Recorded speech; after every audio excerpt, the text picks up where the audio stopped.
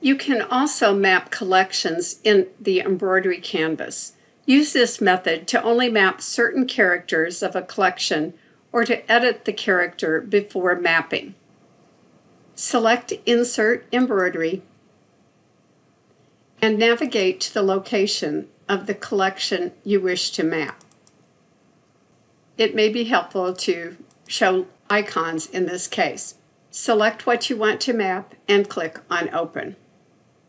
If you want to resize the design or recolor it, you may do so.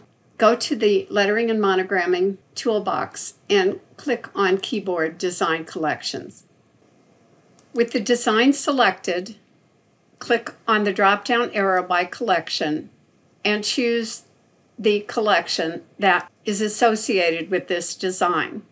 In the Filter By, choose Standard Characters and scroll to find the keyboard stroke that you wish to use.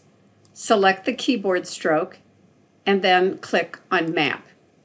This keyboard stroke can now be used to add that design to your design screen. If you are using a design or a character that is not part of an existing collection that you've mapped, click on New, name the collection, add a reference height, and you can just use the height of the embroidery file, and click OK. Then follow the same steps to map that design or letter to a keyboard stroke.